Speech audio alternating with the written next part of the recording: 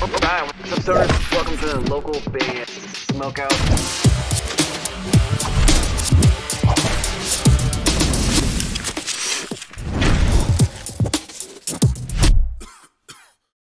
There we go. Bam. Ladies and gentlemen, Joey of Vrsty! Hell yeah! Yeah! What's up, brother? How's your day going? chilling. You know, it's um, it's a day, so it's like going and shit. So it's one of those days. Kinda. Uh, I don't know. It's like, yeah, it's like a regular day, but like I've been in pain. All, I just started like a blackout on my arm, so I've been in pain all day, and uh, I decided to go to the gym and do other uh, extraneous activities like a fucking idiot. So you know, it's been a day. For sure. Uh, for those that may not know who you are, sir, may, can you please properly introduce yourself? Let me know whereabouts in the world you are at the moment. Plug and promote anything and everything. Yes. Uh, my name is Joey. Um, I'm the singer of a little band called Vrsty, and I live in Brooklyn, New York. Hell yeah! And then it's just it's at varsity on, and then what am I At missing? varsity.nyc. on on everything. On everything, but On no everything. vowels because fuck vowels. So, Yeah. Hell yeah, for sure. Those bastards. but uh let's see. Uh well, the first thing I want to ask you is how did you link up with Larry from from Dropout Kings? Dropout Kings are, clo- are good friends of ours. We've had him on the show a couple times, and I've I've spoken with Larry a bunch of times. But I'm just curious how that partnership kind of came about. yeah, so um, we went on tour with them uh, January of last. No, no, it wasn't January. It was February of last year. February or March, one of them. Uh, and Larry was on the tour, and at the time we were like uh, about to transition like over and like get new management and everything else. And I ended up hanging out with Larry a lot on that tour. And at towards the end of the tour, I kind of just asked, I was like, "Hey, do you think you'd ever like like manage like another band?" And he was like, "Oh, you guys, yeah, yeah." And I was like, "Oh, okay, cool, easy." Um, and then that's really it. that's that's Just, but that's I, I guess I guess to like elaborate on the question, not to go into detail or use names or anything, but what would you say? I guess it's safe to say you were unhappy with your current management and you were looking for new management. Is there something that they didn't do, maybe? No, not necessarily. So my old manager actually just transitioned into the band. So he's actually our guitarist now. Oh, Um, and so we just figured we were like, hey, well, yeah. So we're like, well, I he, we can't like have you being in the band and then being a manager. He also manages a bunch of other bands also. So we were just like, if you're gonna transition into the band, I just want you to be like fully in the band and not have to worry about other kind of things. Um, which he also agreed. And he was like, yeah, actually, that's like kind of what I wanted anyway. And then we just asked Larry, and we're like, Larry, you want to do this? cool. Hell yeah. That yeah. was it. Awesome. Uh, Michaela is my co-host today. She's actually also from from New York. Michaela, what was the first question you'd like to ask Joey? Hey. Hey, um, I would like to ask, what are you jamming on the side right now? Like, what bands are you into? Ooh, what bands am I into? Um, right now I'm I'm listening to like a lot of Sleep Token, like just strictly Sleep Token. I, I cannot stop listening to this goddamn band. Like I, I can't do it. For sure. Hell yeah. Uh, Sleep Token is like one of those bands where like I like ev- like every other jam, but then there's some jams I just kind of can't get into. But they're like the hot big thing right now, though. They're blowing yeah, up. well, so okay, just just to be fair, I was into them years ago before they were like the hot big thing. Um, there's something about uh their vocalist uh, Vessel's voice that like has always stood out to me, and I'm I'm just hooked. I'm like just hooked on how like he sings over like these really heavy like instrumentals. So I just can't stop listening to them. Hell yeah! I've noticed you guys have been dropping like different versions, reimagined versions of of some of your older material. Like Wilt came out today, and it was like a different version of it. Uh, what was the thought process behind that that whole thing of just doing different versions of of some older songs, including some new ones too? But Um, we were just bored, so we're, we were bored, and we're like, we should we should do this. Um, it's funny though. Uh, Wilt, that video was actually from 2020, so that that version of the song is on um, the Cloud City EP we put out. But the video, we accidentally never put it out. Um, Wait a then- second. How, how does that happen? uh, How do you shoot the- a video and then, then accidentally never put it out? dude so when we when we were filming music videos for like cloud city which was like shameless and massive and all those things we we always spoke about the singles which was like shameless and massive and then we put those out and then i was in the studio recording the next record and for some strange reason we moved from the singles to what's going to be singles on welcome home and we completely forgot that we had other stuff that we wanted to put out because we just moved so quickly and uh, today, well, over the weekend, I was uh, talking with like the guys on like my label about a bunch of things, and was like, "Hey, whatever happened to this video?" Everyone was like, "I don't know. We just didn't didn't put it out." So I was like, "Whatever. I'm just gonna secretly put it out like in the morning or whatever." That is awesome. Well, I'm glad. I'm glad you did more more material for the fans, fans like us. Uh, what you- you obviously, I'm sure you get complimented on your voice all the time. You have an absolutely beautiful voice. Is there any odd things that you that you do to to warm up before you record or play a show? Um, odd things I do. Uh, I do like this like yawning thing while like doing like squats. I don't, I don't know. If, like, I don't know if that's weird, but it like It's- I, it's I different. learned this technique a while ago where it's like you, you're like yeah you like like yawn like yeah like from high to low. But you're But you you're like- doing squats and stuff do while doing it. Do a squat. Yeah, it's like I, I don't know why, but it's like I that's how I warm myself up for like the stage and everything else. I'm like, oh, I'll just do some squats and do my workout, and I just, you know, my vocal warm up and just do it at the same time. It's fucking weird, but I mean, Yeah, whatever works. Sorry. Whatever works. Hell yeah. Um, I, I know we, we talked about uh, the hot sauce and the trivia. Did you bring any hot sauce? I got hot sauce packets. Yeah, If that works. That totally counts. yeah. To do the trivia, though, I need to know what movie or TV show have you seen the most? Where if I ask you trivia on this movie or TV show, you will not get stumped. Uh, probably The Matrix. Any of the Matrix movies, including the newest one? Um, uh, don't ask me anything about the newest one. I watched it once and I never want to watch it again. Okay, so we'll, Um, we'll go way back to the to the old ones. yeah, you can ask me about the old. Okay, hell yeah, Michaela, go ahead and shoot off another question. Let me um let me look up some Matrix trivia. So, what bands got you into music, or like first got you into being wanting to be in a band? Um, so the very first band was uh from first to last back when Sonny was in it. Okay. Um, yeah, I went to a uh one of my friends just took me to a show randomly. Now I wasn't into rock or anything at the time.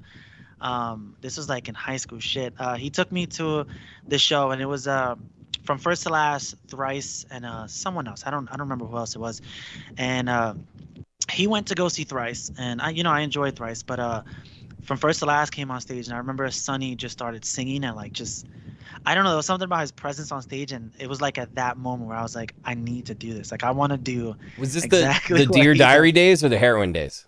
um that was Dear Diary. Okay, that that album's well, both of those albums are amazing for sure. Ah, dude, those are like two of my favorite albums of all time still. And I mean Thrice is like still one of my favorite bands of all time. Did you still follow from first to last? Uh, even though even when Sonny left, like all their other vocalists. Uh, Yeah, I followed everything. Um, I liked I liked it for the most part. I wasn't crazy about it. Um, and then Sonny came back and you know he did like Make War and the other songs, and I thought Make War was sick. Um, and then they disappeared again. So I was like, well, I guess I'll wait another 20 years for him to rejoin the band. So for real, all- I think it's Listen. it's gonna happen. I hope so eventually. I but will wait. I will wait forever. I Hell don't yeah. care. I will wait. Let's see if we can stump you on the Matrix Reloaded trivia. So I think it's the second one. Yeah. What kind of car do the twins drive? I'm, I'm, I'm done. I don't know. We got we got you already. you got me. Hell yes. It's a it's a Cadillac, a black Cadillac. Enjoy enjoy the uh, the hot sauce. I'll do some with you. I got some Death Valley Ghost Pepper right here. I just want you. I just want you guys to know. I fucking love hot sauce. So So do this I. is not. Yeah, this is not a bad thing for me. I I just love hot sauce so much. Whew. Uh, we thought of a question before you came on too. Yeah. Then this one's really hot. What when, when, what, what does a band do when you're in the middle of tour and all of a sudden the the night before, you literally sold out of everything you got. What is the process for Oh. for how an artist gets all their merch ready for probably not the next show, but the one after that? So, okay, so I have I have two answers for it. Um, one is a funny one, one is like a more serious one. So, normally what we do is we over order things. So like if something goes to sell out, um, we'll have like a bit more in like the warehouse so they can send it to us, so that we're not like out of it. And then when that comes into us, we we order again on top of that. So we're like, hey, um, here's another order. Keep that in the warehouse in case this one kind of goes out. So we keep it going. Great idea. Um, we kind of we kind of messed that up recently. Um, we did a tour with 10 years, and uh, we sold out of merch and didn't do that. And so we put in an order, but because the order was, you know, it was like, oh, it's gonna take a week to get it. We had no merch for a week. So what we were doing was, we were going to Guitar Center and buying things, and then just reselling it. Like we were just like signing it and just like beating it up and just like reselling it. We're just like, we don't have no merch, so you could either buy it on our online store or we went to Guitar Center and bought all this shit today. Um, we can just go ahead and sign it and take pictures with it and break it or do whatever you want with it, and now it's yours. That's awesome.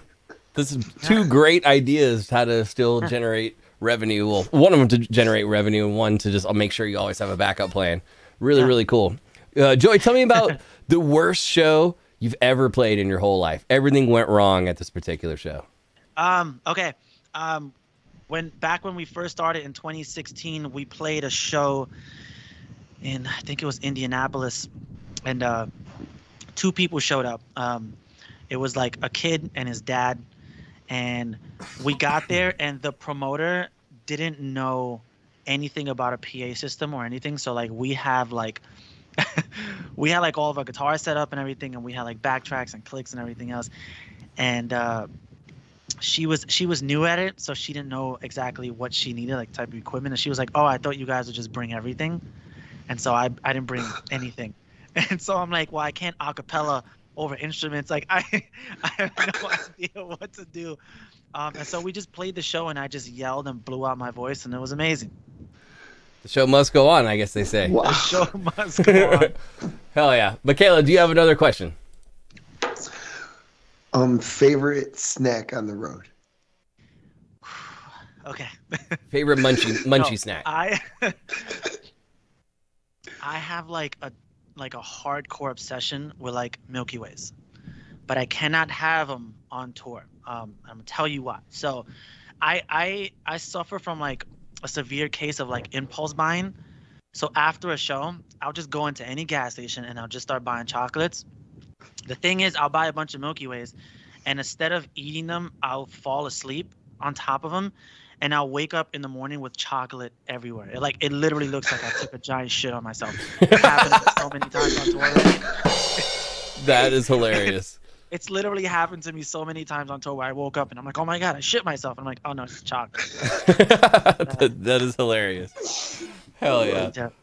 What's what's uh what's the number one? I'm sure with as many shows as you guys play, you play with a ton of locals that are particular to that area. What's the most common mistake you see a really small, let's say the opening band that night, the first band on when the doors first open, that that they make that you don't want that band to make anymore, maybe you just don't want to be like, guys, you can't do that, you know. Um, see, I don't, I don't, I try not to like think of things like that because I know all bands are like really, like really, like, especially like a lot of local bands are still like learning, so they don't really, they don't really know as much. Um, the most common mistakes that I see like a lot of bands make is they try to overdo their live shows and just they have like all this equipment on stage and all these like other things that they don't necessarily know how to use right away.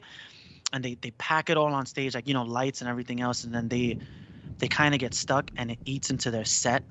Um, because you know they don't have like a light guy or a sound guy and i always try to tell them say hey just music first. Like your first job is to get everyone into your band um and that's usually most of it is how you are on stage and how your music sounds. Like if you can hook them with that the rest of the shit will just come and like as you go like you'll learn and and then you know as you get more help and stuff like that like you'll you'll be able to do a lot of things. I mean i know for us we were terrible before because we didn't have a sound guy and we would try to do like a bunch of things ourselves and that was honestly one of the things we were told. They was like hey if you're gonna have all this stuff that you don't know how to use you need a sound guy. You need to bring a professional along with you that knows how to do this and sets it up for you so that you just come on stage and you're ready to go. Or a light guy that can set up the whole show and you get on stage, you're ready to go. So I see I see a lot of bands, you know, their heart's in the right place. They want to give you a good show, but they don't necessarily know how to use all the things they have.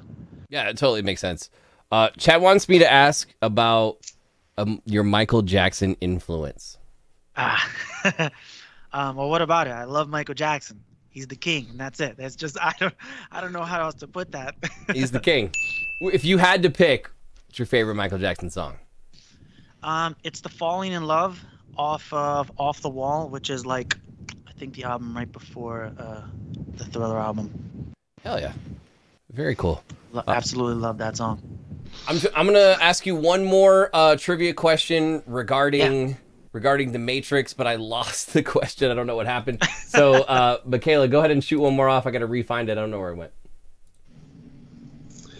So you said I usually ask what the all-time favorite album is. You said from first to last, but um, like, what's another album that like would be in your top five? Another album. Maybe something we wouldn't expect. Yeah, like Something give us wouldn't give us an oddball one. Yeah. Okay. Ah, God, what is what is the name of that Katy Perry record with um It's a Katy Perry it's a Katy Perry record. The first, the Teenage Dream. yes. Okay, Is that the name of the record? the one that had like six number one hits. That that entire record was perfect from beginning to end. Yeah, it's really really good. Every song on that record was a fucking banger. Like I anytime I tell someone I'm like, "Yo, you can't you can't fuck with Katy Perry." Like she, she was the, she was the queen. Like she hit after hit after hit. I love it. love Katy Perry. on in the Matrix. We're still regarding uh, the Matrix uh, Reloaded Part Two. I'm not even sure I can pronounce this word, but what is the name of the operator on the Nubakadnezar? New Nubakadnezar? I I don't know how to say that word, but you know what I'm talking about? I have no idea. It's a really long word. I'll put the word in chat. So I don't know if you're, you can see it, but it, that's the word. New Nubakad. You don't know who it is? No, I'm not even gonna try. Fuck it. The answer is Link. Oh, The answer is Link. It says, it was the Nebuchadnezzar. yeah, that's how you say it. There it oh, is, Link. right there. There you go. There it is. So we have stumped you again, my friend. Had you gotten it right, though, we would have spun this wheel right here and then see what it lands on. I'll join you. Don't worry on some more hot sauce. This time I got Japanese dragon's breath.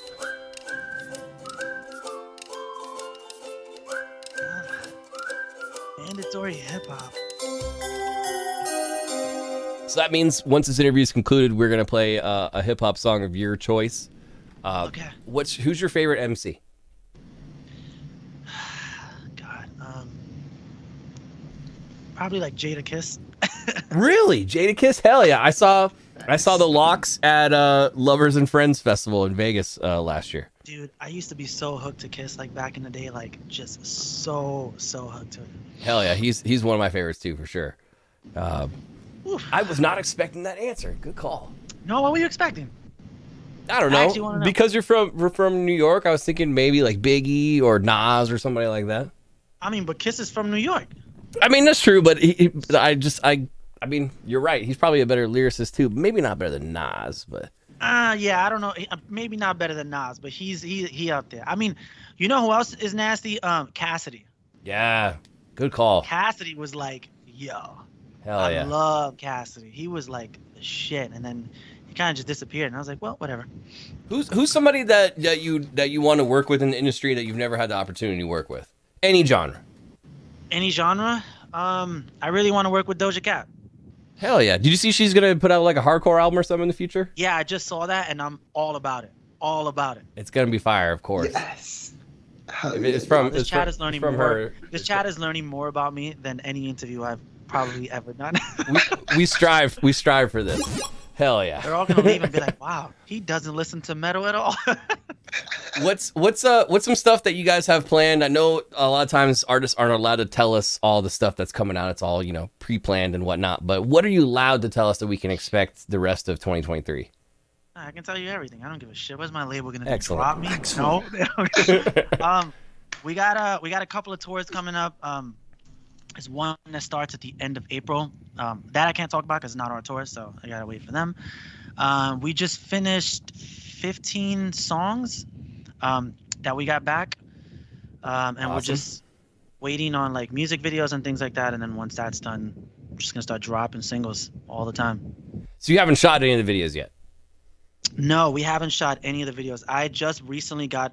Well, I was on Shiprock uh, two weeks ago, or a week ago, um, and so I just got back home, and I had to I had to finish up like some other things, like some acoustics and stuff like that.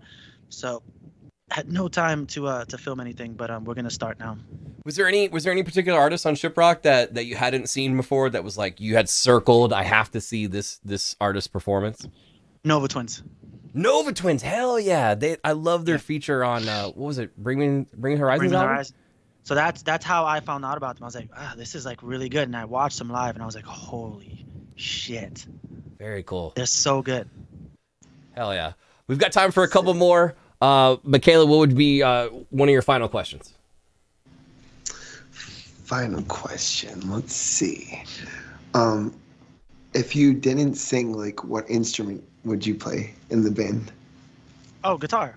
Well, I'm so I am a guitarist. I started off as a guitarist, and then um, I just started singing randomly.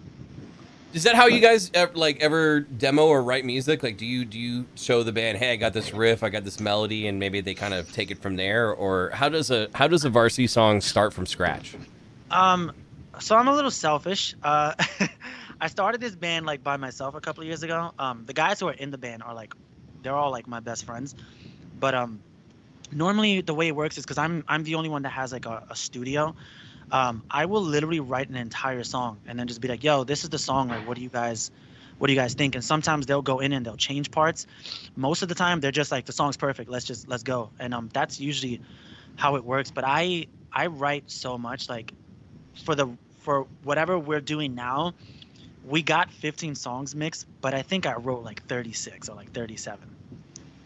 And we Wow. were like, well, these these aren't gonna make it. These will. So I just scrapped them, and I was like, okay, we'll go with whatever works works. But um, that's usually how it works. Like I'll I'll usually write, I'll try to write an idea and give it to them, but my brain is just it doesn't it doesn't work that way. If I start something, my brain is like, you got to finish it. We'll end on a couple fun ones. Uh, let's say let's say hypothetically, Spinefarm's like, guess what? It's uh, it's uh just for no reason. We're gonna give everybody in the band ten million dollars per band member, so you're good. You're, you have enough money to take care of your families, buy all the gear, tour bus, all that. You got a lot of money left over. What is just a cool, fun, random toy that you're gonna buy for yourself? Oh man, a random toy. I don't. Toy could be a car. It could be some rare GI Joe card. I don't know. Just maybe something See, that you. I'm not into like material things. Like honestly, I'd probably take that money and run away. Like no one would ever see me again. I would just travel. Ten million is all it takes, ladies and gentlemen. buy- Ten million. I'd probably buy like I'd probably buy like a jet or something. Be like, I, I just want to go wherever the hell I want to go now. I was like, hey, leave. see you, dude. Spinefarm will give you that money, and immediately I'd be like, well, bye, Spinefarm. You ain't never seen me again. Hell yeah. Thanks for the free cash, you idiots. That is hilarious. Uh, is there is there a particular country you've never had the opportunity to to go to to play a show that is just would mean a lot to you if you got there and played? I, man, I want to go everywhere. Uh, I really want to go to Australia. Um, I do want to go. The two, I think the two places that I want to go the most, I, I definitely want to go.